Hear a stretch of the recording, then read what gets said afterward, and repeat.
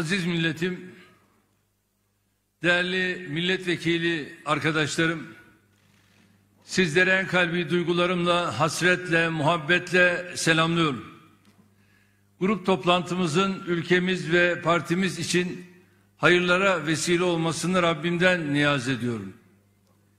Geçtiğimiz ay gerçekleştirdiğimiz 7. olağan büyük kongremizin hemen ardından yaptığımız Merkez Karar ve Yönetim Kurulu toplantımızda Merkez Yürütme Kurulumuzla birlikte grup yönetimizde de bazı değişiklikler oldu.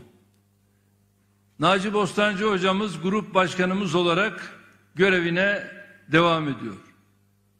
Grup başkan vekillerimizden Özlem Zengin artık görevini genel merkezimizde genel başkan yardımcısı halkla ilişkiler ve sivil toplum başkanı olarak sürdürecek. Bu dönemde grup başkan vekilliklerimizi ise Bülent Turan, Cahit Özkan, Mahir Ünal, Mehmet Elkatmış ve Muhammed Emin Akbaşoğlu yürütecek. Mustafa Elitaş.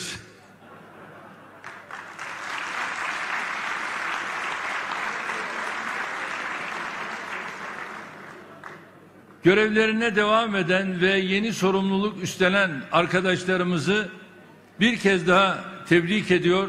Kendilerine başarılar diliyorum. Cumhur İttifakı ve AK Parti olarak ülkeye ve millete meclis çatısı altında verdiğimiz hizmetleri inşallah bu yeni ekibimizle farklı bir şekilde, güçlü bir şekilde devam ettireceğiz. Meclis gündemi zaten yoğundu.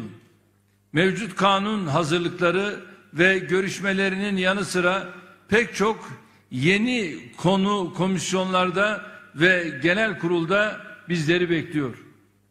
Yeni anayasa hazırlıkları sürecinde de ilerleyen dönemde meclisimize ve dolayısıyla grubumuza önemli görevler düşecektir.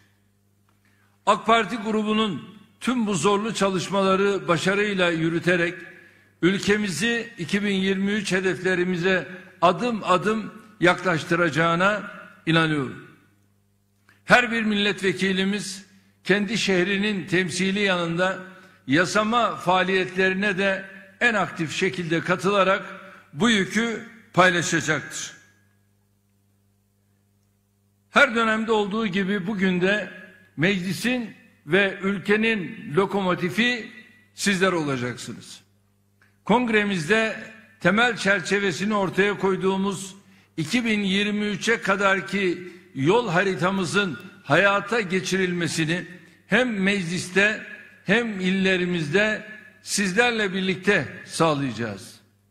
Geçtiğimiz 19 yıldaki eserlerimizi ve hizmetlerimizi yeni dönemin başlangıcı olarak görüyoruz.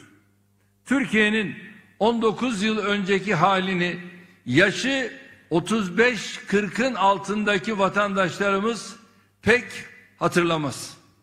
Hükümete geldiğimizde demokrasiden kalkınmaya kadar her alanda yokluk, yoksulluk, yasaklar ve zulüm arenası haline getirilmiş bir ülke devraldık. Hafızayı beşer nisyan ile malüldür derler. Bunun için eski Türkiye ile bugünkü Türkiye'nin mukayesesini her fırsatta milletimizle paylaşmamız gerekiyor. AK Parti iktidara geldiğinde CHP Genel Başkanı herhalde 50'lerinin başındaydı. Kendisinden 20 yıl öncesinin Türkiye'siyle bugünün Türkiye'sini şöyle elini vicdanına koyarak karşılaştırmasını istiyoruz. Gittiği yollar aynı yollar mı? Gördüğü binalar aynı binalar mı? Aldığı hizmetler aynı hizmetler mi? Ülkenin vizyonu aynı mı? Bir günden bir güne bu zatın ağzından tamam pek çok eksik ve hatta yanlış var ama memlekette şöyle iyi bir şey de yapıldı sözünü duymadık.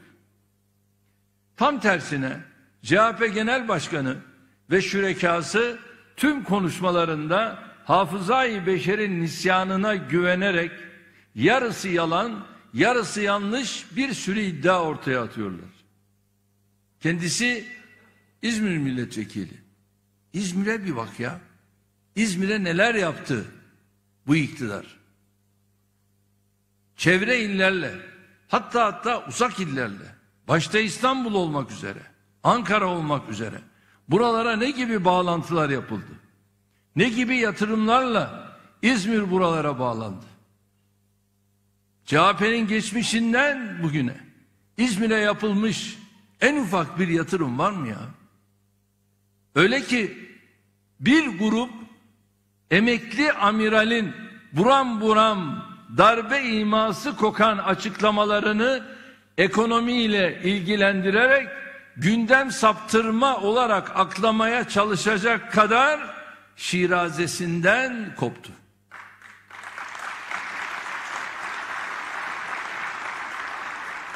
Şu ifade darbecinin emeklisi muvazzafı olmayacağını bilmeyecek kadar bunlar cahil. Yoksa bu bir sinsilik mi? Orasının takdirini milletime bırakıyorum.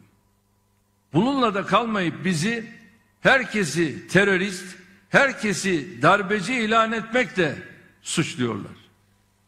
Tabii kendileri teröristlerle al takke ver külah ilişkisi içinde oldukları için teröriste terörist dememizden rahatsız oluyorlar. Çünkü bakıyorlar ki Gabar çökertildi. Cüdi çökertildi. Tendürek çökertildi. Besler Deresi çökertildi. Bütün bunları gördükçe rahatsız oluyorlar. Hatta hatta daha da ileri giderek çıkmış. Bunlardan bir tanesi Suriye'nin sınırında bazı yerleşik durumlar olabilir. Bu çok daha da isabetli olur diyecek kadar şirazesini kaybetmiş. Kim bu? Bu da sözcüleri. Yine kendileri tüm hayatları boyunca iktidarı darbe ve vesayet gölgesinde aradıkları için darbeciye darbeci dememizden de huzursuzluk duyuyorlar.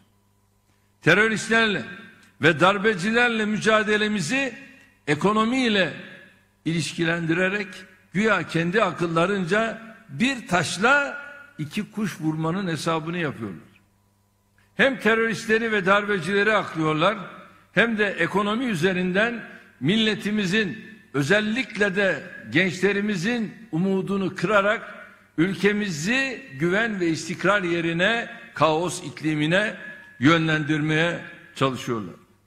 Türkiye daha 15 Temmuz acısının yaralarını saramamışken bir grup emekli askerin aslı astarı olmayan meseleler üzerinden milli iradeyi, ülkenin seçilmiş yönetimini tehdit etmelerini küçümseyen darbecinin ta kendisidir.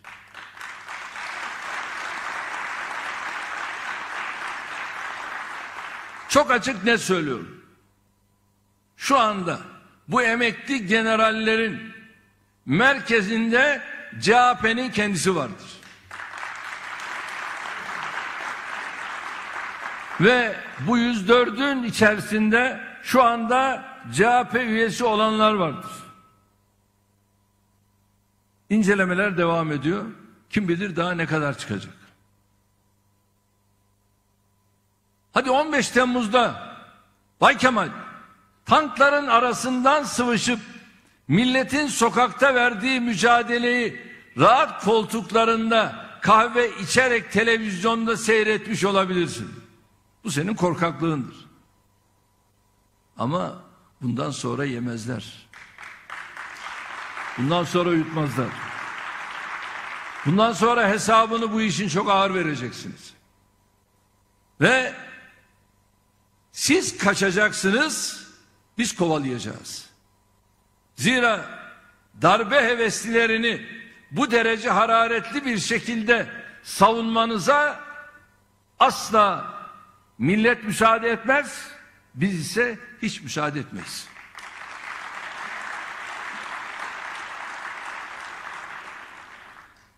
Demek ki mesele korkaklık. Mesele yüreksizlik. Mesele geçmişten utanmak değilmiş.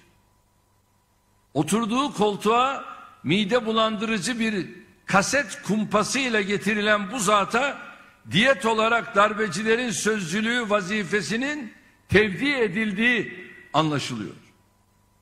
Aksi takdirde akıl ve izan sahibi hiçbir siyasetçi doğrudan kendi varlığını hedef alan antidemokratik bir girişim karşısında böyle bir tavır içine giremez. Kendi iktidarını ülkenin ve milletin felaketinde gören bu habis zihniyeti en az teröristler ve darbeciler kadar tehlikeli görüyoruz.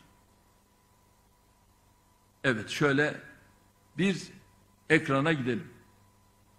Sandıkta varlık gösteremeyenler apoletlerin gölgesine sığınıp darbelerden ve antidemokratik müdahalelerden medet umdu. Bu hep böyle oldu. İsimler değişti, yüzler değişti ama zihniyet hep aynı kaldı. 27 Mayıs'ta, 12 Mart'ta, 12 Eylül'de, 28 Şubat'ta demokrasi postallar altında ezilmeye çalışılırken bir kenarda sevinç çığlıkları attılar. Türkiye'nin önünde yeni bir ak sayfa açılacaktır. Milli irade tecelli ettiğinde ise bu devrin kapandığını anlayamadılar. Denemeye devam ettiler. Sözde Cumhuriyet mitinglerinde faşist sloganlarla bu milletin ordusunu bu milletin seçtiği lidere karşı kışkırtmaya çalıştılar. Çok geçmeden ordu içindeki azgın azınlık bir bildiriyle onlara eşlik ettiğinde Türk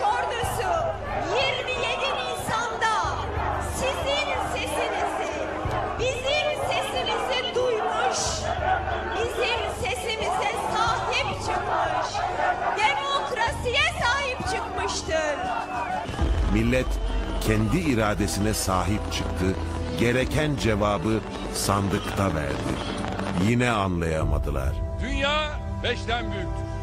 Türkiye uluslararası alanda itibar kazandıkça, ekonomimiz büyüdükçe, yasaklar kalkıp toplumsal huzur arttıkça sandıktan hepten ümidini kesenler darbecilere göz kırpmaya başladılar.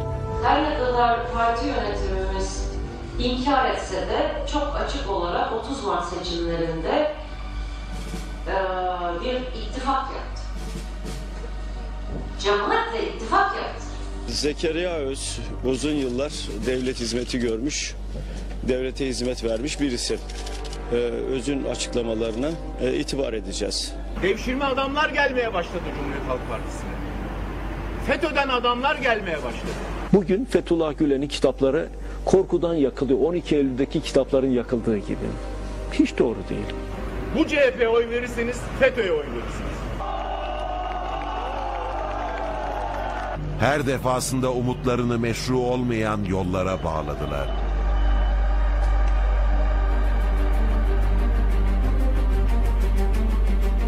...15 Temmuz 2016'da demokrasi ve anayasal kurumlar hedef alındığında... ...millet iradesini savunmak için tankların, uçakların karşısında çıplak elleriyle savaşırken...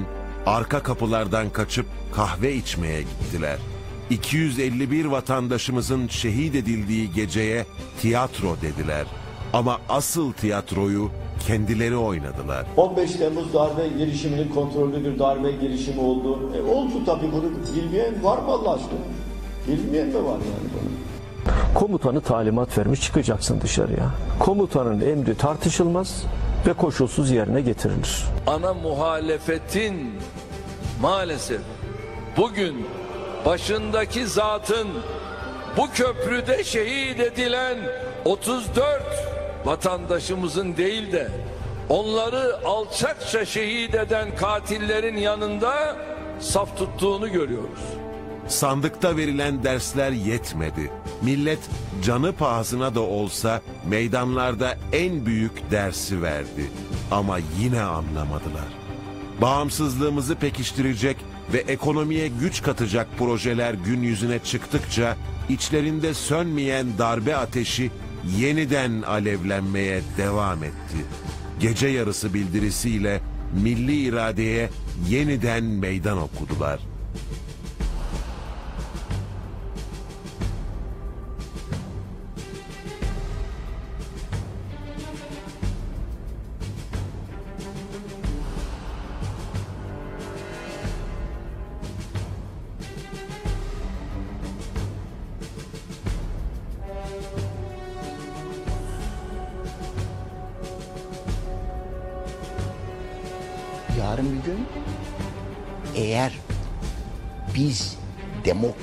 Girişimlerle bu iktidarı düşüremezsek Türk halkını da cezalandırabilecek uluslararası girişimler yapılacak.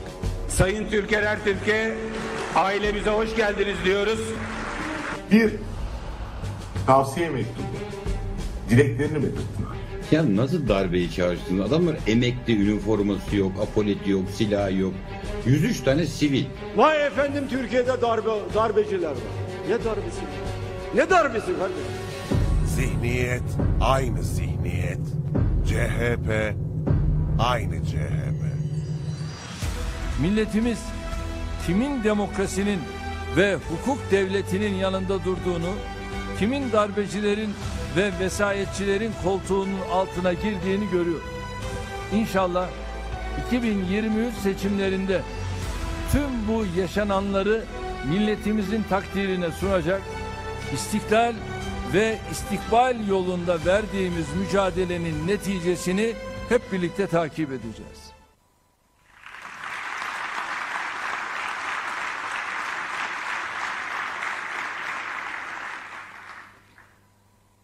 Değerli kardeşlerim, Kılıçdaroğlu dün hızını alamayıp işi salgınla mücadelede en önemli referans kaynağımız olan ülkemizin kendi alanlarının en yetkin isimlerinden oluşan Sağlık Bakanlığı Bilim Kurulu'na saldırmaya kadar vardırdı. Vah zavallı. Biz salgınla mücadeleyi siyaset üstü 84 milyonun tamamının sağlığını ilgilendiren milli bir mesele olarak görüyoruz. Bilim kurulu üyelerimize kadar bugüne kadar verdikleri hizmetler içinde ben şahsım, ailem, grubum ve milletim adına kendilerine teşekkür ediyorum.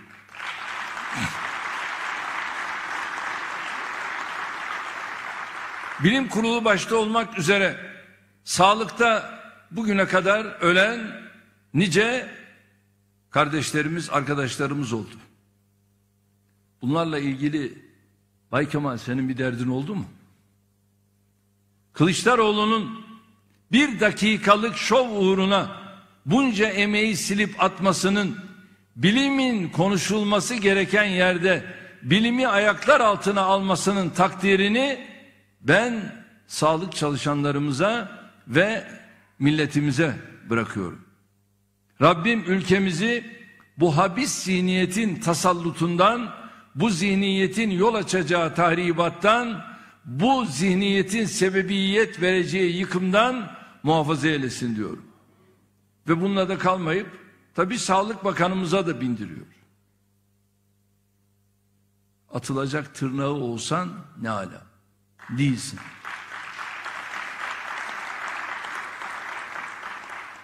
O kadar zavallısın. Ya sizin örnek gösterilecek bir eseriniz, iftihar edilecek bir hizmetiniz, dikili bir ağacınız dahi yok. Siyasi hayatınızın tamamı bizim projelerimizi engellemeye çalışmakla geçti. Yüzsüzlükte ve arsızlıkta öyle tavan yapmış durumdasınız ki dün engellemek için çırpındıkları eserleri ve hizmetleri bugün sanki kendi projeleriymiş gibi sahiplenmekten de geri kalmıyorlar. İstanbul'da ne yapmışsak şimdi onları sahiplenmeye çalışıyorlar. Ya bu ne utanmazlıktır ya. Bu ne terbiyeden muaf kalmış bir haldir. Cumhuriyet Halk Partisi'ne gönül veren vatandaşlarımızın tüm bu olup bitenleri ibretle takip ettiğine, günü geldiğinde de demokrasi ve kalkınma düşmanlarına hak ettikleri cevabı vereceklerine yürekten inanıyorum.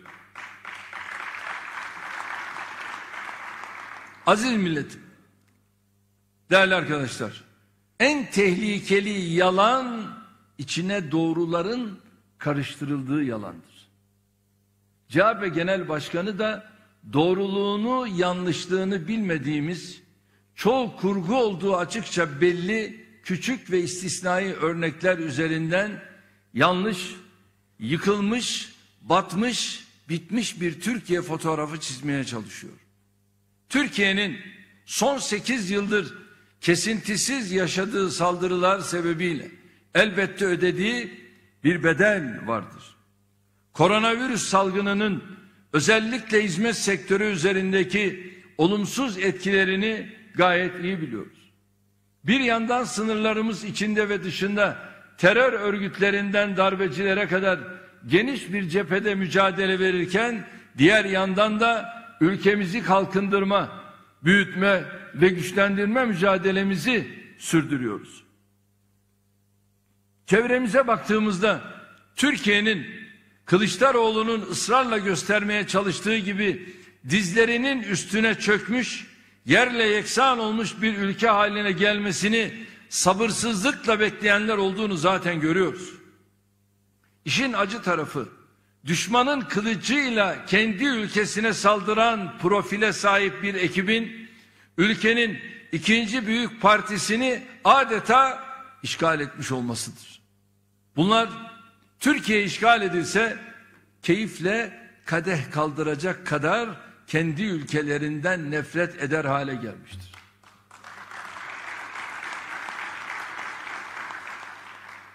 Bunlar Türkiye iflas etse kalkıp göbek atacak kadar kendi halkından nefret eder hale gelmiştir.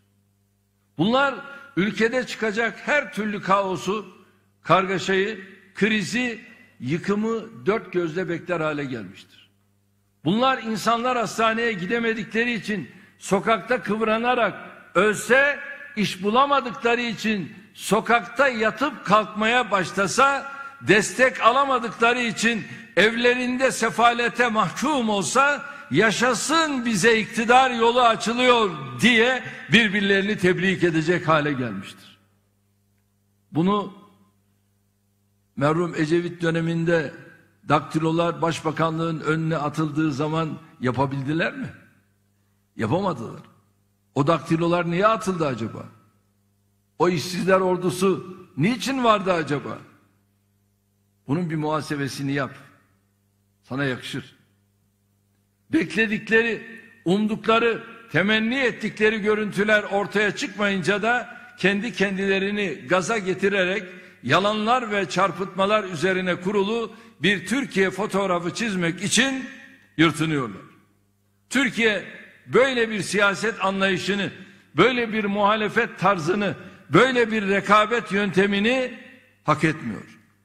Bir kez daha altını çizerek ifade ediyorum. Bu ülkede tenceresini kaynatmakta zorlanan her vatandaşımızın derdine 19 yıldır olduğu gibi bugün de yarın da yine biz derman olacağız.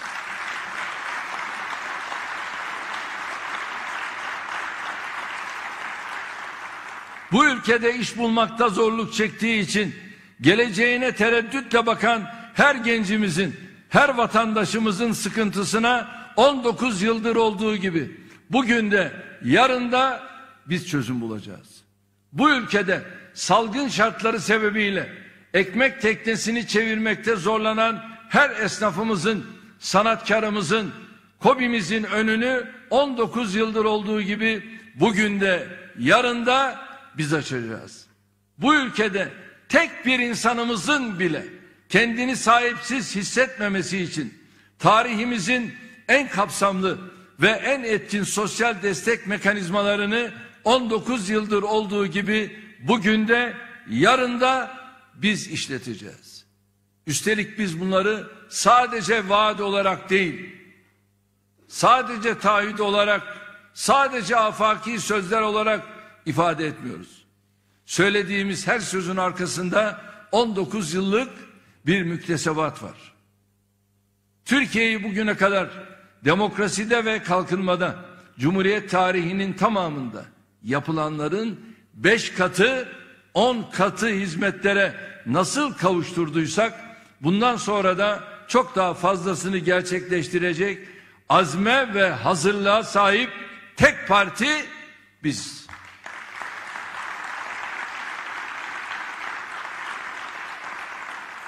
Aziz milletim, değerli arkadaşlar. Yalanın en etkili panzehiri hakikat, iftiranın en etkili panzehiri de hukuktur. Bu anlayışla şimdi sizlerin huzurunda milletimize, ülkemize son 19 yılda nereden nereye getirdiğimizi özetle de olsa tekrar hatırlatmak istiyorum.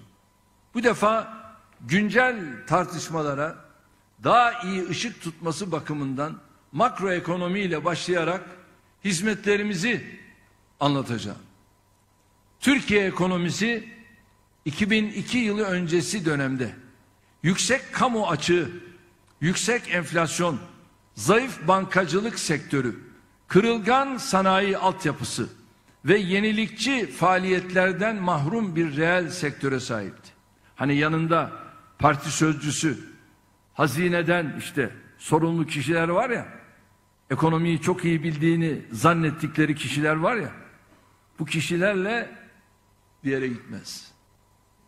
Ve bunların da her zaman sürekli olarak defa çamurdan başlarını çıkaramazlar.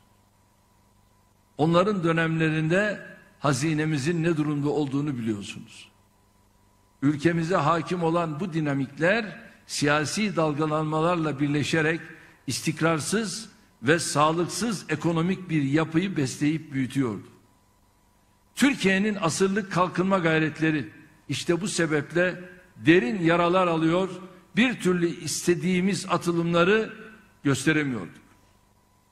Bugün geldiğimiz noktada ise en kısa sürede çözmekte kararlı olduğumuz kimi sıkıntılarımıza rağmen karşımızda bambaşka bir resim var. Her şeyden önce Türkiye ekonomisi şoklara karşı önemli ölçüde dayanıklılık kazanmıştır. Güç kazanmıştır. Küresel çapta meydana gelen krizleri dahi daha az hasarla daha kısa sürede atlatma kabiliyetine kavuşmuştur. Güçlü sanayi altyapımız ve yenilik yapma kabiliyetimizle pek çok gelişmekte olan ülkeyi geride bıraktık. Gelişmiş ülkelerle rekabete başladık. Göreve geldiğimizde Türkiye ekonomisi satın alma gücü paritesine göre dünyada 18. sıradayken artık 13. sırada bulunuyor. Nereden? Nereye? Milli gelirimizi döviz kurundaki ekonomik temelli olmayan dalgalanmalara rağmen 238 milyar dolardan 3 katlık bir artışla 717 milyar dolara yükselttik. Sağlanan ekonomik istikrar ve iyileşen yatırım ortamı sayesinde özel sektör sabit sermaye yatırımlarının milli gelirimize oranı yüzde 14,8'den yüzde 22,6'ya yükseldi. Tüketici enflasyonunu 2002 yılındaki yüzde 29,7 seviyesinden yüzde 6,2'ye ne yapmıştık? Geriletmiştik.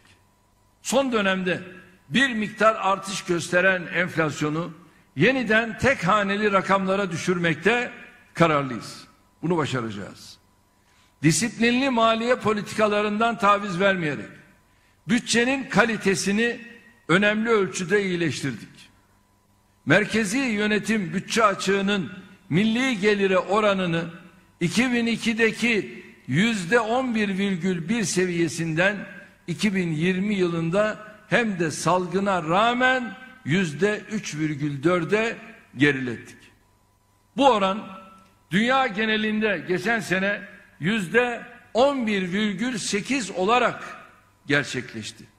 Aynı şekilde 2002'de bütçemizden faiz ödemelerine ayrılan pay yüzde 43,2 iken bu oranı da geçen sene yüzde 11,1'e düşürdük. Bir başka ifadeyle 2002 yılında toplanan her 100 liralık verginin 87 lirası faize giderken 2020 yılında bu rakam 16 liraya indi. İnşallah faizleri de tek haneli rakamlara indirerek bu rakamı çok daha azaltacağız. Bu konuda kararlıyız. Bütçede sağladığımız mali disiplin borçlanma rakamlarına da yansıdı. Avrupa Birliği tanımlı brüt genel yönetim borç stokumuzun milli gelirimize oranı yüzde yetmiş bir buçuk iken yüzde otuz dokuz buçuk seviyesine geriledi.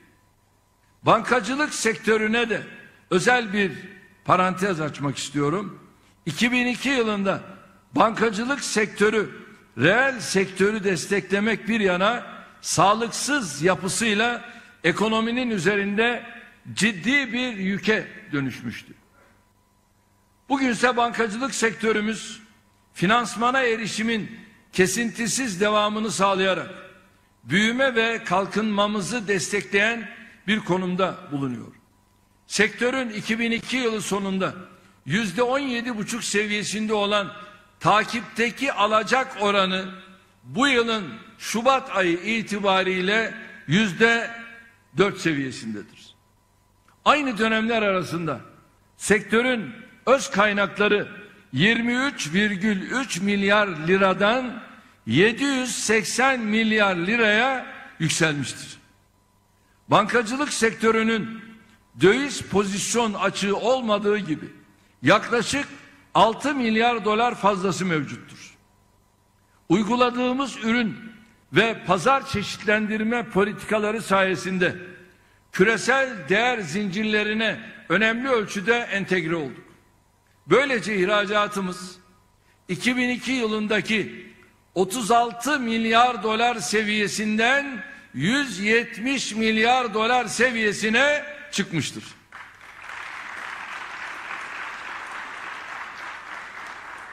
Bir milyar doların üzerinde ihracat yaptığımız ürün sayısını 9'dan 39'a, ihracatçı sayımızı yaklaşık 3 kat artışla 90 bine yükselttik.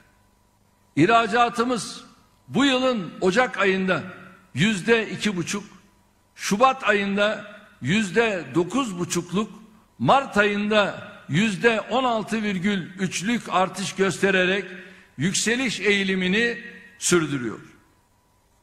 Mart ayı yaklaşık 19 milyar dolarlık ihracat rakamıyla tüm zamanların rekorunu kırdığımız bir dönem oldu.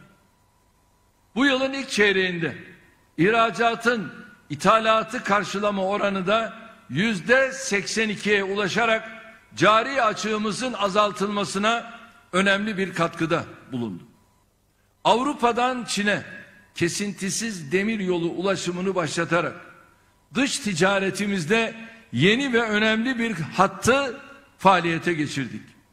Hayata geçirdiğimiz bir düzenlemeyle 17 bin 888 ihracatçımıza hususi damgalı pasaport vererek yurt dışı seyahatlerini kolaylaştırdık.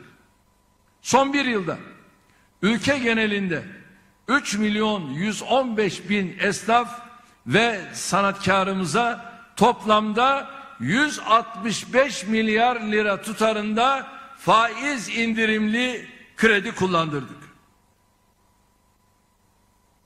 Tabi bunları Sayın Kılıçdaroğlu takip ediyor mu bilmiyorum.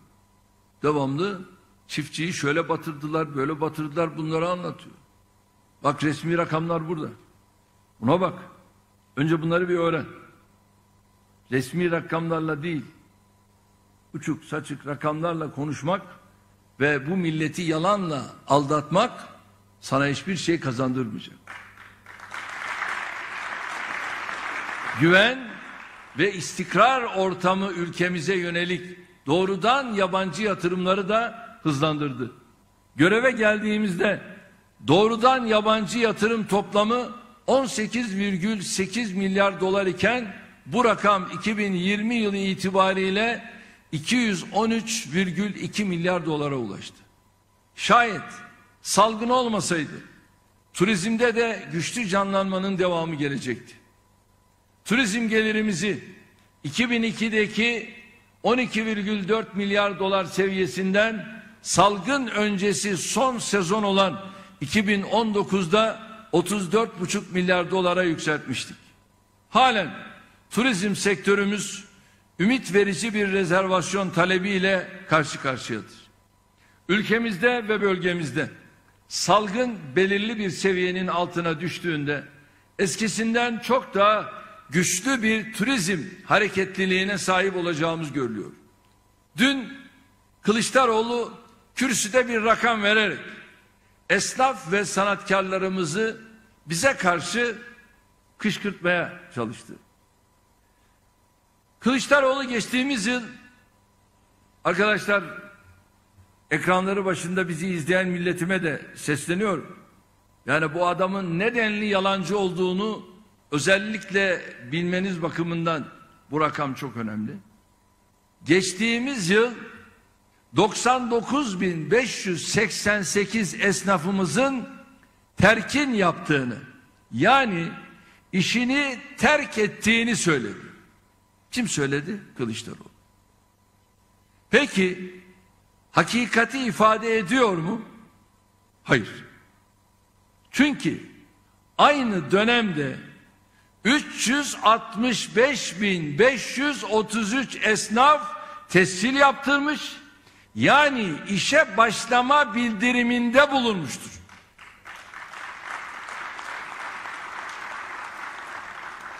Ya Kılıçdaroğlu sen ne zaman doğru konuşacaksın? ya? Rakamlar ortada. Bak bunlar benim kişisel değil. Seninkiler kişisel. Ama ben şu anda tamamıyla Ticaret Bakanlığı resmi rakamları üzerinden bu rakamları veriyorum. Esnafımızın derdini, sıkıntısını, beklentisini dile getirmek başka şeydir.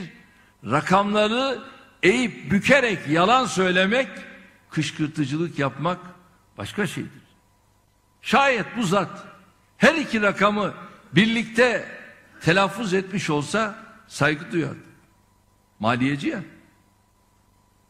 Ama birini söyleyip diğerini gizleyince kendisini yalancı ve provokatör ilan etmekten başka çaremiz kalmıyor.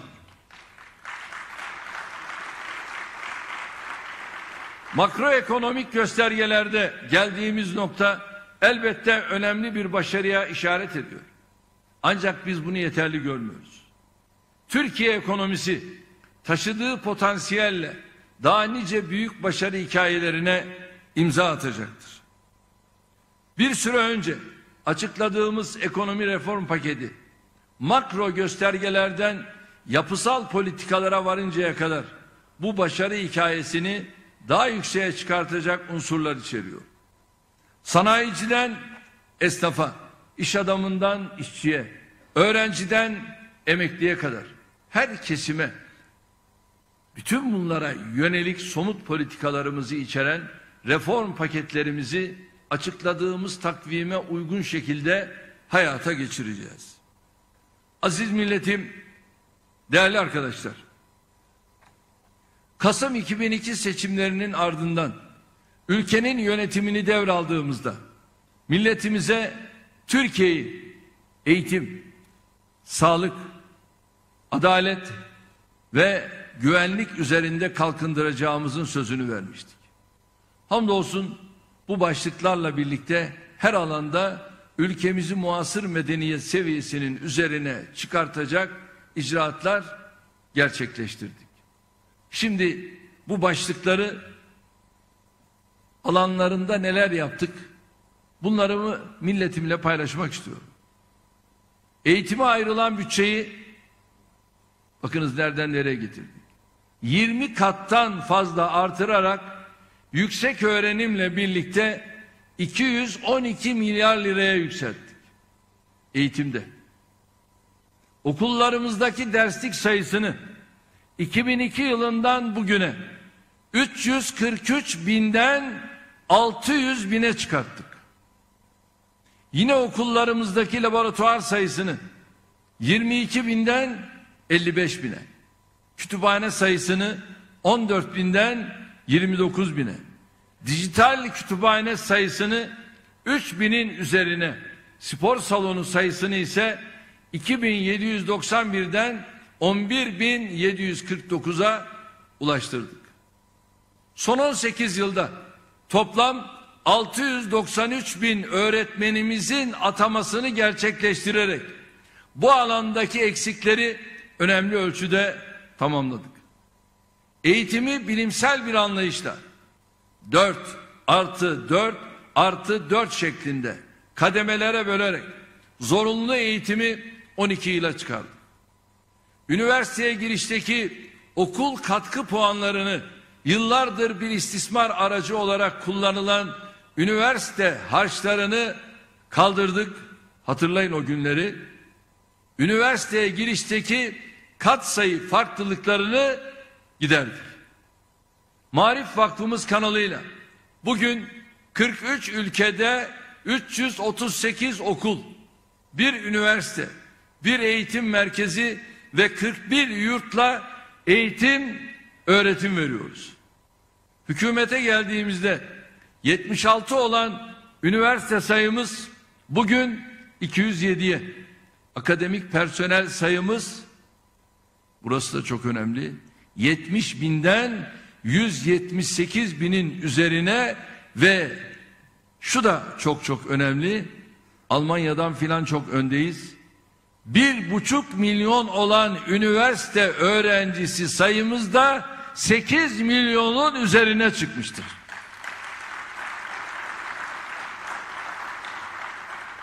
Bugün dünyanın birçok farklı ülkesinden 200 bin öğrenci ülkemiz üniversitelerinde öğrenim görüyor. Gençlik merkezlerimizin sayısını 9'dan 364'e çıkartarak ülkemizin her köşesinde bu hizmetin verilebilmesini sağladık. Yüksek öğrenim yurt yatak kapasitemizi 182 binden 700 bine ulaştırdık. Kredi veya burs ödemelerinin aylık tutarını lisans öğrencilerinde gençlere sesleniyor. Siz de diyor maddi noktada biz destekleyeceğiz. Biz güçlendireceğiz. Bay Kemal biz göreve geldiğimizde üniversite öğrencilerine verilen burs 45 liracıktı. Şimdi ise 650 lira.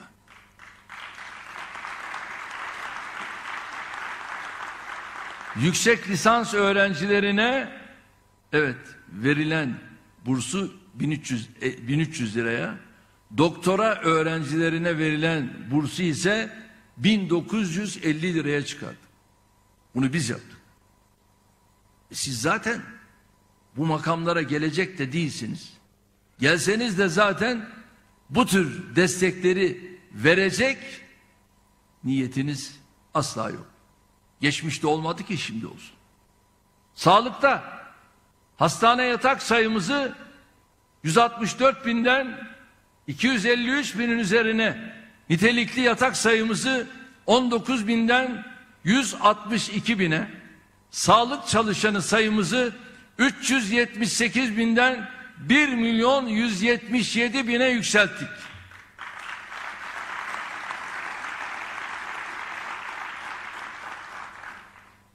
Ha bunlar da yapar mı? Yapar. Bunlar ne yapar? İşte Adana'da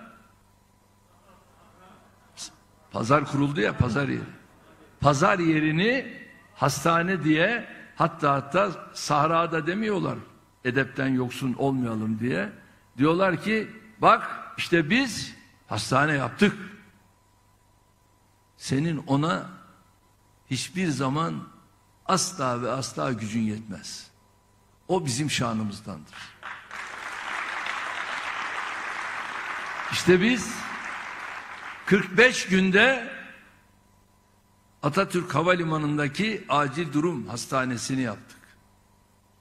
Ve aynı şekilde Sancaktepe'de yine 45 günde bir diğer hastaneyi yaptık. Acil durum hastanesi. Niye buraları seçtik? Uçak geldi. Buraya insin ve buradan da 5 dakikada hemen hastaneye geçsin. Sancaktepe'ye uçak insin. 5 dakikada hemen oradan hastaneye geçsin. Ve bunların içinde değerli arkadaşlar oda sayısı ve ameliyathaneler her birinde 18 ameliyathane var. Tamamen modern tıp aletleriyle dayalı döşeli bu hastanelerimizi 48 günde yapmak suretiyle biz dünyaya örnek olduk. Bak şimdi bunu Arnavutluk gördü. Bizden bunu aynen istedi. Arnavutluğa söz verdik. Ve aynı şekilde bir müteahhidimizi görevlendirdik. 48 günde müteahhidimiz Arnavutluk'ta acil durum hastanesini yaptı ve teşekkür için de Sağlık Bakanımızı Başbakan aradı ve teşekkür etti. Görüldüğü gibi biz sadece kendi kendimize yeten değiliz. Aynı zamanda bize kim ulaşıyorsa biz de onlara ulaşmanın hep gayreti içinde olduk. Ve bundan sonra da aynı şekilde bu yola devam edeceğiz. Bakınız ambulans başına düşen nüfus sayımız 107 binlerden 14 binlere indi. Ve tabi ambulansları da biz alışılmış ambulanslar olarak değil. Dağlar var. Kar, tipi, bora var. E bunu normal ambulanslarla oralarda problemleri çözmek mümkün değildi. E neleri getirdik? Biz oralara da paletli ambulansları getirdik. Bugün Erzurum'un her bir köşesine o paletli ambulanslarla ulaşmamız mümkün. Onlarla da kalmadık. Yine aynı şekilde helikopter ambulanslarımızı devreye soktuk. Ambulans uçaklarımızı devreye soktuk. Bu millet bunları görüyor muydu ya? CHP'nin iktidarı olduğu dönemler yok muydu bu ülkede ya? Bunlar aklınıza gelmedi mi ya? O zaman dünyada ambulanslar yok muydu? Uçak ambulanslar yok muydu? Palet ambulanslar yok muydu? Siz neredeydiniz ya? Sizin aklınız yok muydu?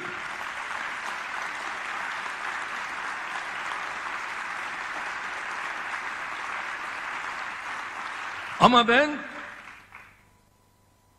anacığım rahatsızlandığı zaman bugün şehir hastanesi olarak kurduğumuz Profesör Doktor Cemil Taşçıoğlu Hastanesi o zaman Ok Meydanı Sesek Hastanesi'ydi. Sabah namazından sonra ben oraya gider, oradan numarayı alır, o numarayla daha sonra anacığımda orada muayeneye giderdi. Onu da geç.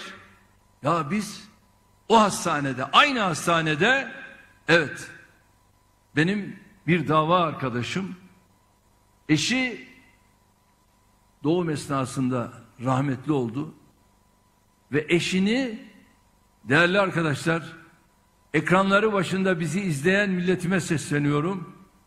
Eşini maalesef doğum esnasında çocuk rahmetli, hanımı rahmetli. Ya ödeme yapılmadı diye vermediler. Ne yapıyorlar? Rehine alıyorlar. Ya bunları biz bu ülkede yaşadık. Kimlerin iktidarıydı? Bay Kemal senin SSK genel müdürü olduğun dönemdi ya. Sen bu ülkede bunları yapmış bir adamsın.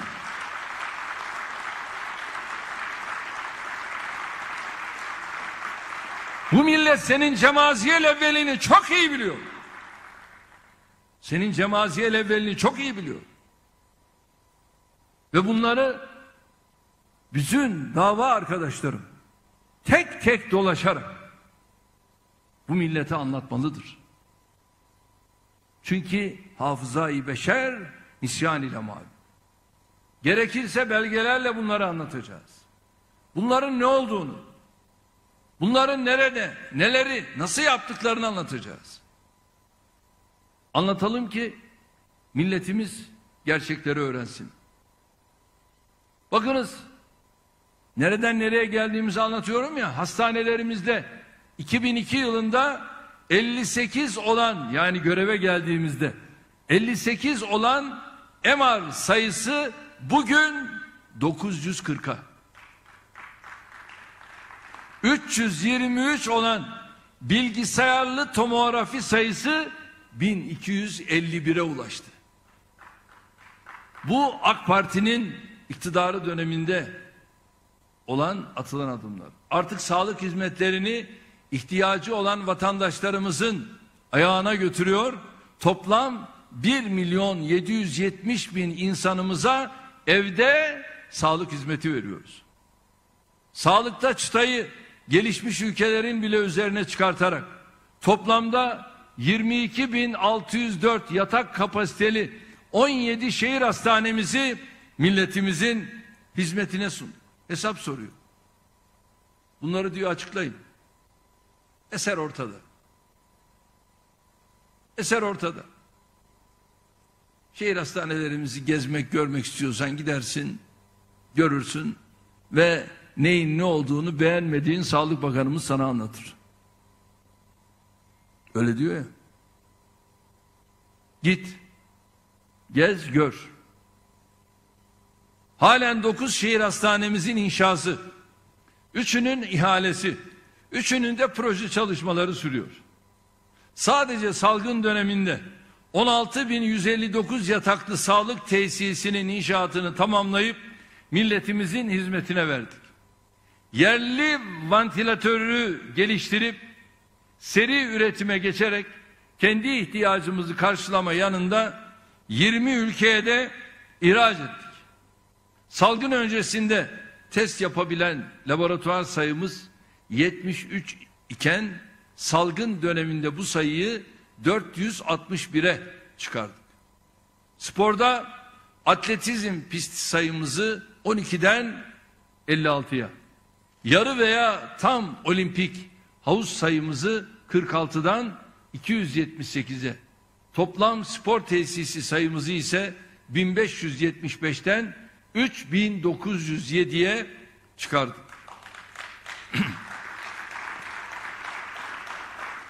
Bugüne kadar 32 stadyumun yapımını tamamladık.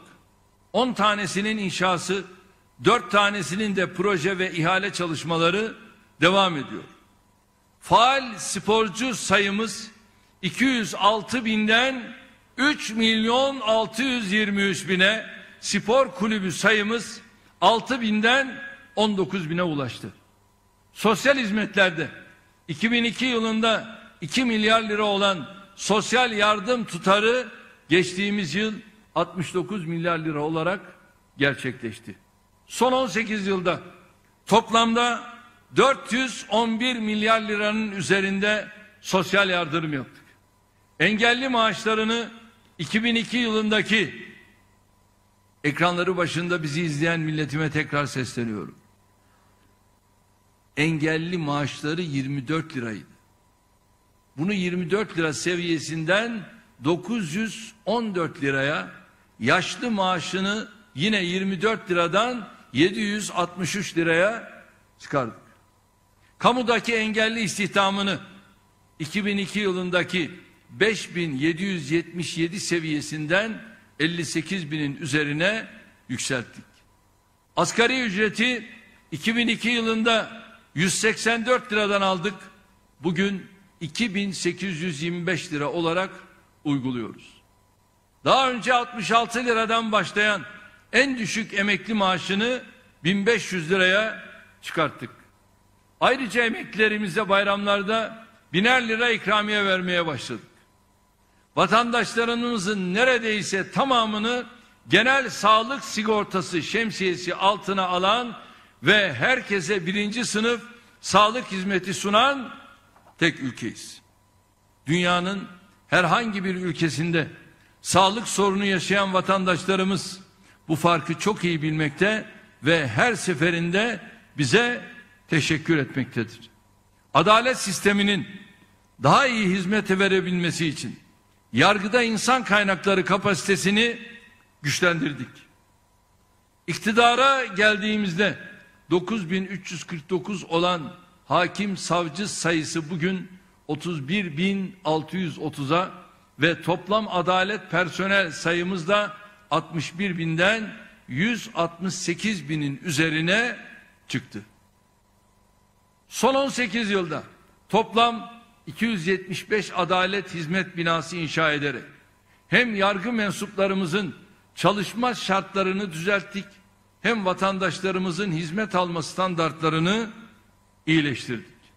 Mahkeme kararlarındaki hataları asgariye indirmek ve temiz sürecindeki yığılmayı önlemek için 15 yerde bölge adliye mahkemesi, 8 yerde bölge idare mahkemesi kurduk. Böylece Yargıtay ve Danıştay'ın iş yükünü azaltırken uyuşmazlıkların daha hızlı ve etkin çözümüne imkan sağlayarak vatandaşlarımızın hukuki güvencesini yükselttik. İçişlerinde yerel yönetim mevzuatlarında yaptığımız düzenlemelerle mali idare sistemimizi güçlendirdik. Mali idarelerimizi daha demokratik, şeffaf, katılımcı ve hesap verebilir bir yapıya kavuşturarak vatandaşlarımıza daha iyi hizmet verebilmelerini temin ettik. Geçenlerde muhtarlarımızla ilgili bazı yine abuk sabuk şeyler söylüyor. Yapacağından değil ya kendilerine özel kalem memuru atayacakmış. Bunu söylüyor. Bay Kemal bak biz muhtar maaşlarını 97 liradan aldık 2445 liraya çıkartmak ve SGK primlerini ödemek suretiyle mali haklarını güçlendirdik. Senin ona vereceğin özel kalemin bak kaç tane özel kalem burada var. Niye aldatıyorsun milleti ya? Yapacağından değil. Siz bu süreçlerden geçtiniz. Bu süreçleri yaşadığınız zaman niçin bu tür imkanları sağlamadınız? İçişleri Bakanlığımız bünyesinde kurduğumuz muhtar bilgi sistemiyle muhtarlarımızın taleplerinin merkezi olarak takibine imkan sağladı. Geçmişte muhtarların mühürlerini toplatarak tüm muhtarlıkların kapısına kilit vurmaya kalkanların bugün yaptıkları muhtar edebiyatının ne kadar sahte olduğunu ise söylemeye bile gerek duymuyorum.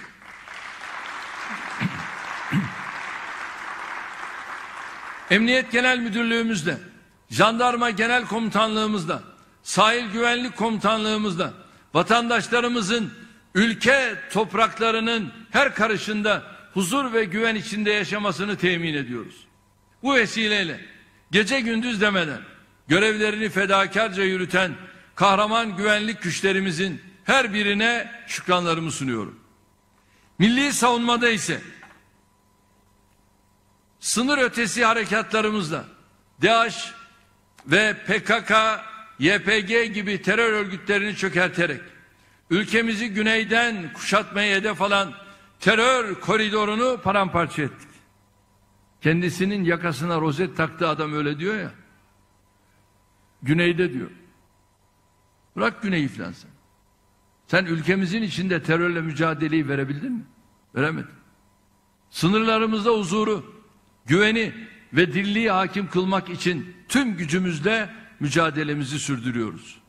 Buradan Genelkurmay Başkanı'ndan erine kadar karasıyla deniziyle, havasıyla, özel kuvvetleriyle ve diğer tüm birimleriyle kahraman ordumuzun tüm mensuplarına sevgilerimi, saygılarımı, şükranlarımı gönderiyorum.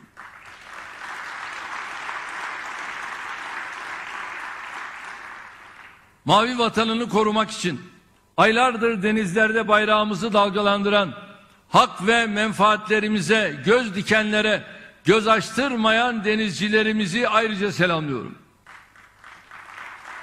Milletimizle birlikte biz de tüm kalbimizle darbecilerden temizlenen Türk Silahlı Kuvvetlerimizin yanındayız. Yanında olmayı sürdüreceğiz. Rabbime bana böyle bir ordunun başkomutanı sıfatını bahşettiği için binlerce kez hamdü senalar ediyorum.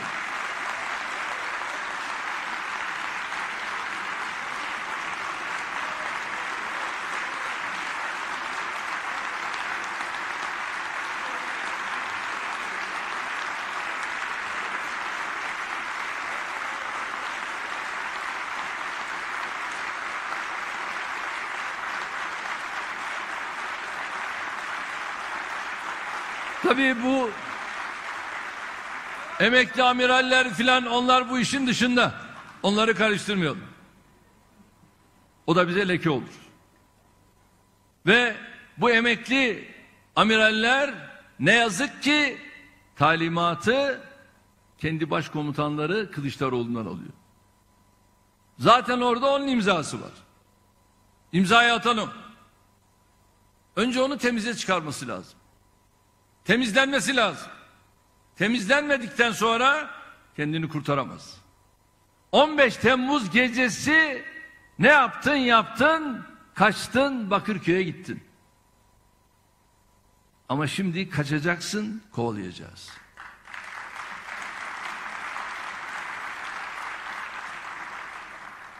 Ve geliyorum şimdi ulaştırma en çok yatırım yaptığımız alanların başında geliyor. İktidara geldiğimiz günden bugüne ulaştırma projelerine toplam 932 milyar lira tutarında yatırım yaptık. Bölünmüş yol uzunluğumuzu 6100 kilometreden 28200 kilometreye, otoyol uzunluğumuzu 1714 kilometreden 3523 kilometreye çıkardık. Karayolu tünel sayımız 83'ten 438 adete. Karayolu tünel uzunluğumuz 50 kilometreden 595 kilometreye, köprü ve viyadük uzunluğumuz 311 kilometreden 701 kilometreye yükseldi.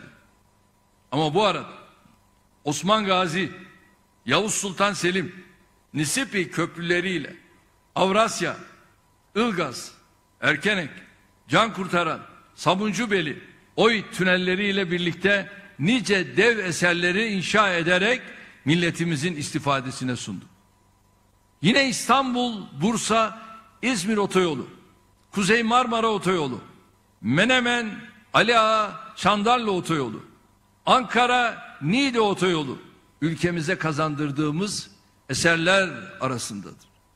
Bir başka gurur abidesi projemiz olan Çanakkale 1915 Boğaz Köprüsü'nün de yer aldığı Kınalı, Tekirdağ, Çanakkale, Savaştepe otoyolunun yapımı da hızla devam ediyor.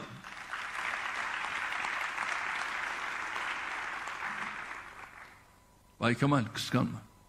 Çalış, senin de olur. Buna böyle bakacaksın. Demir yollarında toplam 1213 kilometre uzunluğunda hızlı tren ağı inşa ettik. Mevcut altyapımızın tamamına yakınını ifade eden 11.590 kilometre uzunluğundaki demir yollarımızı baştan sona yeniledik. İzmir'de İzban'ı, Ankara'da başkent rayı, İstanbul'da Gebze Halkalı banliyö hattını, çeşitli şehirlerimizde pek çok metro projesini tamamlayıp hizmete sunduk. Havalimanı sayımızı 26'dan 30 ilaveyle 56'ya çıkardık. Dünyanın en büyükleri arasında yer alan İstanbul Havalimanı'nın yıllık 90 milyon yolcu kapasiteli ilk etabını hizmete açtık. Yurt dışı uçuş noktamızı 60'tan 329'a, uçulan ülke sayısını 50'den 126'ya çıkardık. Salgın sonrası hava taşımacılığı alanındaki ataklarımızı inşallah hızlandırarak sürdüreceğiz. Denizcilikte tersane sayımızı 37'den 83'e, yat bağlama kapasitemizi 8500'den 18545'e yükselttik. Filyos ve Rize İyidere limanı ile Haliç, Tekirdağ ve Datça yat limanlarının yapımları sürüyor. İnternet altyapısını adeta sıfırdan kurarak 2002 yılında 3000 olan geniş band abone sayısını 85 milyona ve 23,3 milyon olan mobil telefon abone sayısını 84 milyona çıkardık. Yaklaşık 54 milyona ulaşan elektronik devlet kullanıcısıyla pek çok kamu hizmetini internet üzerinden etkin bir şekilde veriyoruz. Çevreyi korumak için daha önce sadece 145 olan atık su arıtma tesisi sayısını 8 kat artışla 1170'e, yüzde 35 olan atık su arıtma hizmeti verilen belediye nüfusu oranını ise yüzde 89'a çıkardık. TOKİ kanalıyla yatırım değeri toplam 180 milyar lira olan 1 milyona aşkın konut ürettik. Yakında inşallah 1 milyonuncu konutumuzun anahtar teslim törenini gerçekleştireceğiz. Geçtiğimiz 9 yılda ülkemizde 2,5 milyon konutun dönüşümünü tamamladık. Hali hazırda 300 bin binadaki dönüşüm çalışmaları sürüyor. Şu anda 44 ilimizde 79 tarihi kent merkezimizi yeniliyor. 30'dan fazla sanayi alanımızı şehir dışına taşıyor. İl merkezlerimize şehir otoparkları yapıyoruz. Ülke genelinde 45 ayrı projede 7 bin tarım köy konutunun yapımını tamamladık. Halen 78 ilimizde 52 milyon metrekarelik alanda 291 millet bahçesi kurarak şehirlerimize nefes aldırıyoruz. Bugüne kadar 57 millet bahçesini tamamladık. Bunlardan 35'ini hizmete aldık. 22'sinin açılışını da yakında yapacağız. Sıfır atık projesi ile sadece 3 yılda 315 milyon kilowatt saat enerji, 345 milyon metreküp su ve 50 milyon varil petrolden tasarruf ettik. Geri dönüştürdüğümüz 17 milyon ton kullanılabilir atıkla ekonomimize 17 milyar lira katkı sağladık. Tam 209 milyon ağacımızı kurtardık. Tarımsal hasılamızı 27 milyar liradan 333 milyar liraya ulaştırdık. Tarım ürünleri ihracatımızı 2002 yılındaki 3,7 milyar dolar seviyesinden 19 milyar dolar sınırına getirdik. Sadece bu yıl çiftçimize buraya da çok dikkat edelim.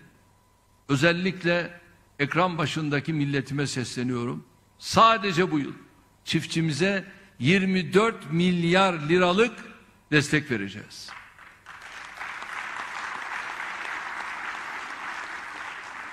Son 18 yılda çiftçilerimize 160 160 milyar liraya yakın tarımsal destek ödemesi yaptık.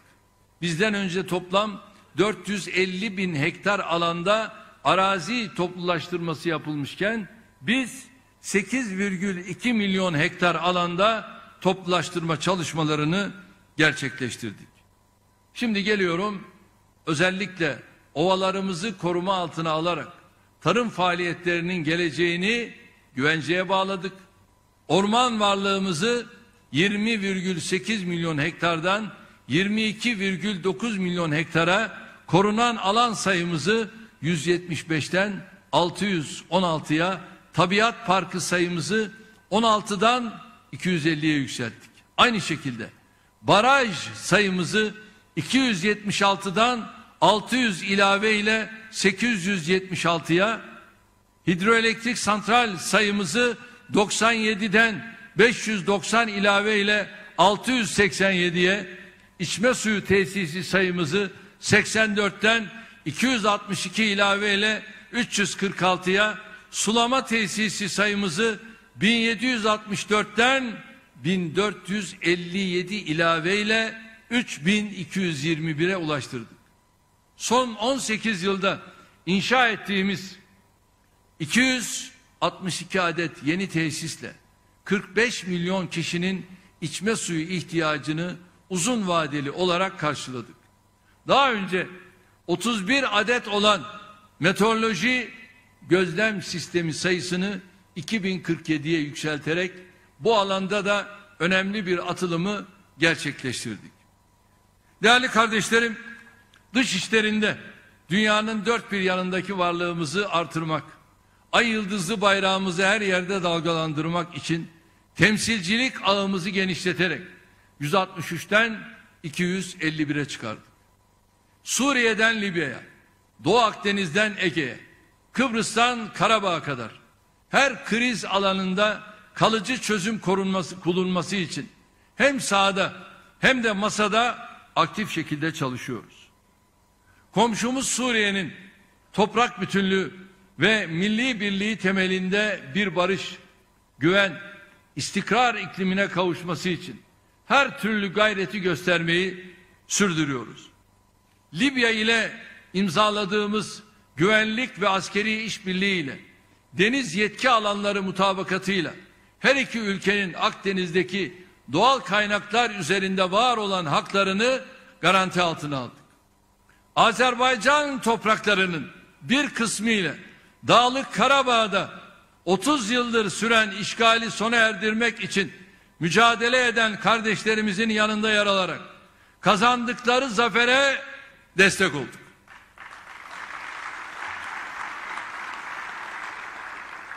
Avrupa Birliği, Amerika Birleşik Devletleri, Rusya, İran, Orta Asya ülkeleri, Arap dünyası gibi yakın ilişki içinde olduğumuz yerler başta olmak üzere herkesle hak ve adalet zemininde ilişkilerimizi geliştirme kararlılığı içindeyiz. Sanayide, üretimde çarklarının kesintisiz çalışması için her türlü gayreti gösteriyoruz. Salgın döneminde girişimcilerimizin ve emekçilerimizin gayretleriyle belirsizliği hızla atlatarak üretimini artıran nadir ülkelerden biri oldu. Bu başarının etkisi imalat sanayi istihdamında da ortaya çıkmaya başladı. Toplam imalat sanayi istihdamı Ocak 2021 itibariyle bir önceki yılın aynı ayına göre 346 bin ilave ile yüzde 9,2 oranında artış gösterdi. Yatırım tarafında 2020 yılında düzenlediğimiz teşvik belgesi adedi bir önceki yıla göre yüzde 86 artışla 10.505'e çıktı. Bu yatırımlarla öngörülen sabit yatırım tutarı 238 milyar lira, istihdamda 305 bin kişidir. Ülkemizde hala devletin fabrika yapmasını bekleyenler var. Halbuki günümüzde gelişmiş devletler fabrikaların üzerine inşa edileceği altyapıyı hazırlar, finansman ihtiyacı duyanlara kaynak desteğinde bulunur, ürünleri pazara ulaştıracak yolları inşa eder. Kısaca devlet yatırım ortamını hazırlar, girişimci de yatırımını yapar. Geçtiğimiz yıl 12 yeni organize sanayi bölgesine tüzel kişilik kazandırarak ülkemizdeki organize sanayi bölgesi sayısını 325'e çıkardık. Artık ülkemizde organize sanayi bölgesi olmayan şehir kalmamıştır. Salgın döneminde sadece organize sanayi bölgelerinde 1093 yeni fabrikanın faaliyete geçmesiyle buralardaki istihdam 98 bin kişi artmıştır. Bu yıl ise sanayi üretiminden elektrik üretimine kadar her alanda çok daha güzel gelişmelerin işaretlerini görmeye başladık. Yatırım iştahındaki artışla Mart ayında düzenlediğimiz ve tüm zamanların rekoru olan 1257 adet yatırıma teşvik belgesiyle devam ediyor. Üretim tarafındaki bu başarının salgın tedbirlerinin sürdüğü ve turizm sektörünün büyük oranda kapalı olduğu bir dönemde gerçekleştiğini özellikle belirtmek istiyorum. Türk sanayinin böyle zorlu bir dönemde ortaya koyduğu bu performans yabancı yatırımcıların da dikkatini cezbediyor. Birçok uluslararası şirket diğer ülkelerdeki üretimlerine ara verirken Türkiye vardiya artırdı. Ford Otosan'ın 2 milyar avroluk ilave yatırım kararı teknoloji devleri Xiaomi ve Oppo'nun akıllı telefon üretimi yatırımları işte bu dönemde gerçekleşti.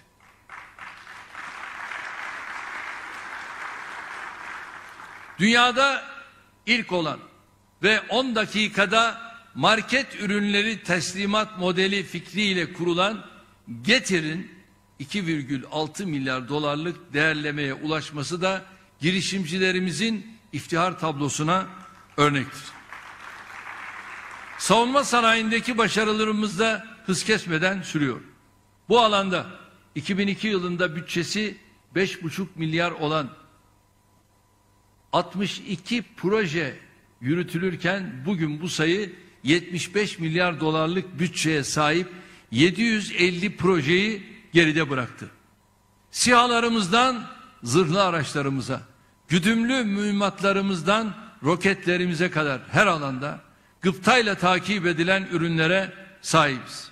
İnşallah savunma sanayinde kendi yeni nesil savaş uçağımızın geliştirilmesi ve üretimi başta olmak üzere çok daha büyük başarılar bizi bekliyor.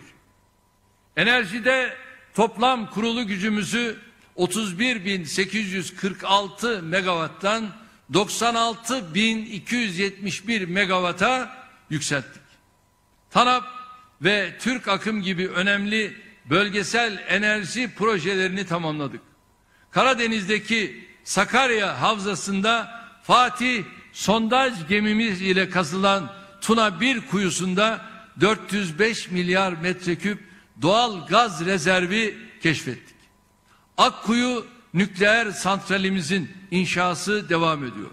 İnşallah ilk reaktörde üretim 2023'te başlıyor. Kültürde dünya mirası listesinde olan varlık ve alanlarımızın sayısını 9'dan 18'e, kültür merkezi sayımızı 42'den 118'e yükselttik. Bakanlar Kurulu kararlı Türk kazılarının sayısını 57'den 118'e, yurt dışından getirilen eser sayısını 2525'ten 4854'e, restore edilen eser sayımızı 46'dan 5450'ye çıkardık. Ülkemize gelen yabancı ziyaretçi sayısı 2019 yılında 52 milyon sınırına, turizm gelirimiz 12,4 milyar dolardan 34,5 milyar dolara dayandı. Geçtiğimiz yıl salgına rağmen 16 milyon turist ağırladık ve 12,1 milyar dolar turizm geliri elde ettik. Cumhurbaşkanlığı Senfoni Orkestrası yeni binası, Resim ve Heykel Müzesi, İstanbul Sinema Müzesi gibi yeni değerleri ülkemizin kültür sanatına kazandırdık. Taksim Meydanı'ndaki yeni Atatürk Kültür Merkezi'ni inşallah 29 Ekim'de hizmete açıyoruz.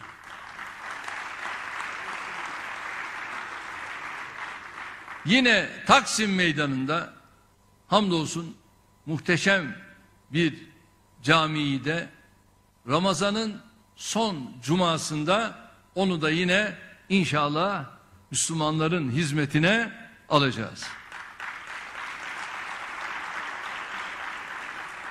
Yine aynı şekilde Kadir Gecesi'nde de Zonguldak'ta sahilde Uzun Mehmet Camii bitiyor. Uzun Mehmet Camii'ni de inşallah orada Müslümanların hizmetine alacağız.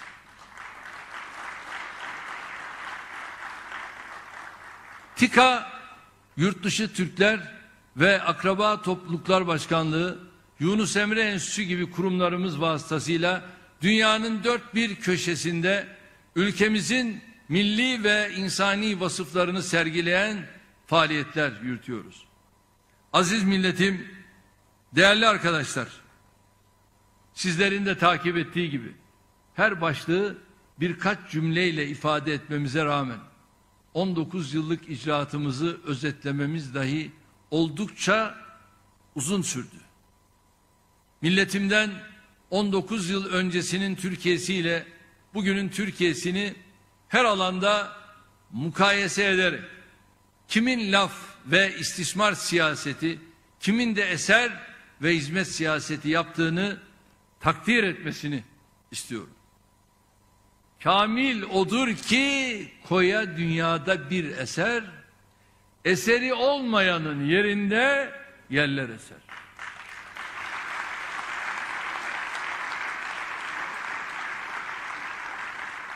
Biz ülkemizin 81 vilayetinin her köşesinde hayata geçirdiğimiz eserlerimizle, hizmetlerimizle, tamamladığımız yatırımlarımızla, yapacağımız projelerimizle milletimizin huzurundayız. Tarih eseri olanları eserleriyle değerlendirecek, eseri olmayanları da yıllarca bu ülkenin ve milletin vaktini, enerjisini, heyecanını eba ettiği için mahkum edecektir. Madem söz eserden açıldı, buradan milletime bir de müjde vermek istiyorum.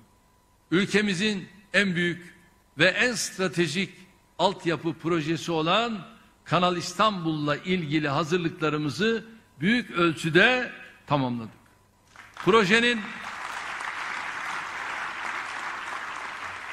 projenin ÇED raporu 56 kurum ve kuruluşun 200'den fazla bilim insanının, medyanın ve vatandaşlarımızın katkılarıyla tamamlandı. Kanalın iki yakasında kurulacak toplam 500 bin nüfuslu şehir aynı zamanda İstanbul'un depreme hazırlık sürecini de hızlandıracaktır. Bu proje aynı zamanda İstanbul'a kazandırdığımız yeni havalimanı, köprü, otoyol, metro hatları gibi ulaşım ağlarıyla da bütünlük arz edecektir. Dünya ticaretinin yüzde doksanının deniz yolu ile gerçekleştirilmesi, boğazlarımızın en önemli deniz ticaret yollarından biri niteliğini taşıması, Kanal İstanbul projesinin önemini artırıyor. Karadeniz'de hem biz hem de kıyısı olan diğer ülkeler sürekli yeni ve büyük limanlar yapıyor. Bu durum boğazlardaki gemi trafiğinin gelecekte azalmak bir yana daha da artacağına işaret ediyor. Hale bak. Tehdit ediyor.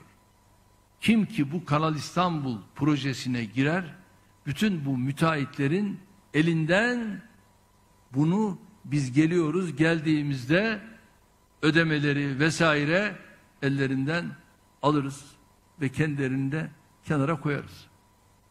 Ya böyle bir devletin devamlılığına inanmak böyle bir şey olabilir mi? Bu nasıl bir zihniyettir? Bu nasıl bir çürümüşlüktür? İstanbul Boğazı'ndan 1930'lu yıllarda 3000 gemi geçerken bugün bu rakam 40 binin üzerindedir. Buna karşılık Panama kanalından yılda 13 bin, Süveyş kanalından 17 bin civarında gemi geçişi yaşanmaktadır. Tabii diğer kanallardan elde edilen gelirleri telaffuz bile etmiyorum. Halbuki İstanbul Boğazı'nın emniyetli gemi geçiş kapasitesi 25 bindir. Yani şartları zorlayarak boğazlardaki gemi trafiğini yürütüyoruz. İnşa edeceğimiz 45 kilometre uzunluğa, 21 metre derinliğe, 275 metre taban genişliğine, en dar yerinde 360 metre su yüzeyi genişliğine sahip Kanal İstanbul bölge için yeni bir nefes borusu olacaktır. İsteseniz de istemeseniz de biz Kanal İstanbul'u başlıyoruz yapacağız ve milletimizin emrine amade edeceğiz. Buyurun şimdi size Kanal İstanbul. Yeryüzünün en nadide şehri, kıtaları ve kültürleri birleştiren şehirler şehri İstanbul, yüzyıllardır Karadeniz'de kıyısı olan ülkeleri hayata bağlayan alternatifsiz bir geçiş kapısı.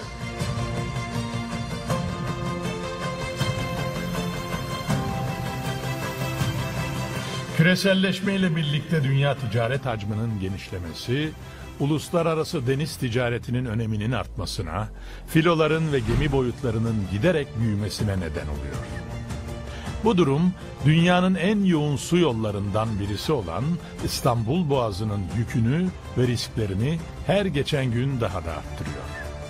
Benzer sorunları yaşayan ve denizcilik sektöründeki rekabette var olmak isteyen ülkeler daha ekonomik ve mevcut kapasiteyi arttırıcı su yolları oluşturma çalışmalarına hız veriyor. Bu amaçla dünyada şimdiye kadar birçok kanal açıldı. Bu kanallardan her gün binlerce gemi güvenli bir şekilde geçiş yapabiliyor. Yüzyıllardır dünyanın en önemli su yollarından birisi kabul edilen İstanbul Boğazı'ndansa son yıllarda günde ortalama 120 gemi geçiyor. Bu da yılda ortalama 43 bin gemiye tekabül ediyor. Boğaz'da 12 noktada çok kritik rota değişim manevrası yapılıyor. Altı deniz mili üzerine çıkan yüzey akıntıları ve ters yönlü dip akıntıları Boğaz'da yolculuk yapan gemileri oldukça zorluyor. Kıtalar arası günlük 2000'in üzerinde yerel trafik seferi de gemi trafiğini yoğunlaştırıyor. Bugüne kadar İstanbul Boğazı'nda birçok gemi kazası yaşandı. Onlarca insan yaşamını yitirdi, telafisi olmayan büyük kayıplar ve çevre felaketleri yaşandı. Bu tehlikeli yolculuk çevreyi ve boğazın tarihi dokusunu her an tehdit etmekte. 15 saate aşan bekleme süreleri de denizcilik sektörü için büyük maddi kayıp oluşturuyor. Kapasitenin üzerinde yıllık gemi trafiği bulunan İstanbul Boğazı'ndaki bu yoğunluğu azaltmak, Boğaz'ın tarihi dokusunu korumak, çevre risklerini önlemek, maliyetleri düşürmek ve denizcilik sektöründe küresel bir aktör olmak için ülkemizin alternatif bir su yoluna ihtiyacı var.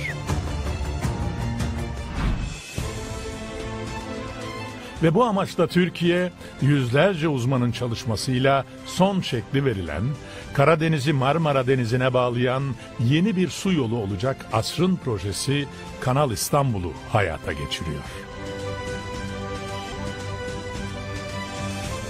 Tüm gemilerin beklemeksizin güvenle geçebileceği kanal, ülke ekonomimize de büyük bir maddi katkı ve binlerce kişiye istihdam imkanı sunuyor. Kanal üzerinde inşa edilecek köprüler, kanalın altından geçen raylı sistem hatları ve modern karayolu sistemleriyle bölgede hızlı, konforlu ve kesintisiz bir ulaşım imkanı sağlanıyor.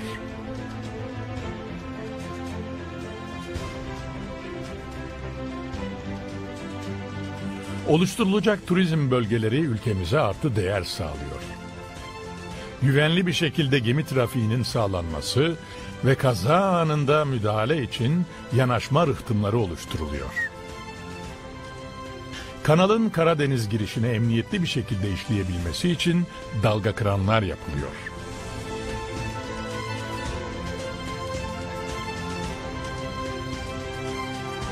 Daha fazla yeşil alanın oluşturulduğu, yenilenebilir enerji kaynakları alanlarıyla rekreasyon alanları inşa ediliyor. Yeşilin her tonunu barındıran parkları, sosyal yaşam alanlarıyla Kanal İstanbul'un sahil hattı eşsiz bir güzellik ve yüksek bir yaşam kalitesi sunuyor.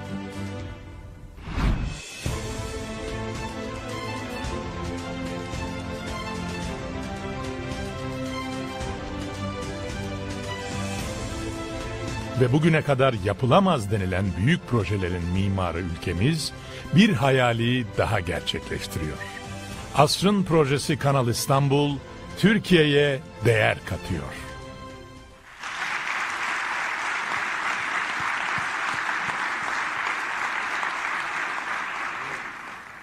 İnşallah bu önemli projenin etaplar halinde yapılacak ihalesine çok yakında çıkıyoruz. Yaz aylarında da inşallah temelini atıyoruz. Epeyce bir gecikmeyle de olsa inşasına başlayacağımız Kanal İstanbul'un şimdiden ülkemize, milletimize hayırlı olmasını diliyorum. Projenin bugünkü aşamasına gelmesinde emeği geçen tüm arkadaşlarımızı tebrik ediyorum. Rabbim yar ve yardımcımız olsun diyorum. Bu duygularla hepinize sevgilerimi, saygılarımı sunuyorum. Kalın sağlıcakla. Sayın Cumhurbaşkanımıza teşekkür ediyoruz. Sayın Cumhurbaşkanım müsaadelerinizle şimdi de katılım törenine geçmek istiyoruz. Çanakkale İl Genel Meclisi Başkanı, 4 dönem CHP Merkez İlçe Başkanı, Çanakkale CHP eski il başkanı, son seçimlerde İl Genel Meclis Başkanı olarak seçilen, CHP'nin milli konulardaki duruşunu kabul etmiyorum ve AK Parti ailesine yer alıyorum diyen Necat Önder Bey'i kürsüye davet ediyorum. Necat Bey'e ücret töreni için kürsüye davet edilmişken İl Başkanımız Naim Makası, İl Genel Meclis Başkan Vekilimiz Bülent Korkmaz'ı ve Milletvekilimiz Jülde İskenderoğlu'nu da kürsüye davet ediyorum.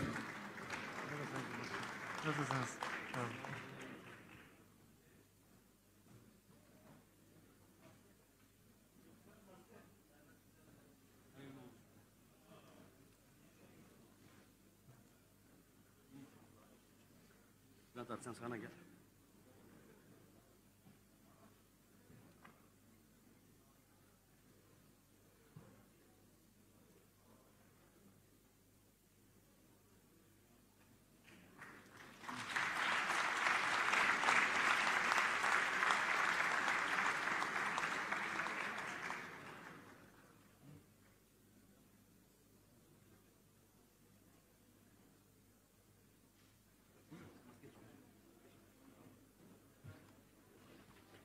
Sayın Genel Başkanım, değerli milletvekillerimiz, saygıdeğer bakanlarımız, değerli basın. Az evvel e, Çanakkale Milletvekilimiz Bülent Bey'in de arz ettiği gibi ben Cumhuriyet Halk Partisi'de uzun seneler hizmet görmüş bir arkadaşınızım. Ama beni bugün AK Parti saflarına getiren, gelmemde en büyük etken nedenlerden bir tanesi Sayın Cumhurbaşkanımızın daha evvel arz ettiği gibi e, bizim partimizde Atatürk lazım olduğunda e, sahip çıkılıyor. Atatürk demekte yüksünen üst düzeyde partililerimiz